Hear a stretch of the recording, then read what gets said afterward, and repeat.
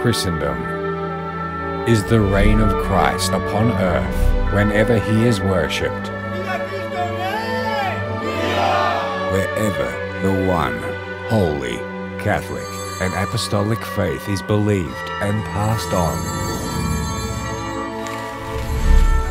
Since reaching Australia's shores more than 200 years ago, Catholics have built up Christendom throughout this land. The priests of the Fraternity of St. Peter continue this same mission today. We offer the traditional Latin Mass, preach and teach authentic Catholic doctrine, and offer pastoral care to the faithful. We're expanding. Our numbers are growing. We urgently need to build a new church to continue our mission. Join us in building up Christendom for Australia.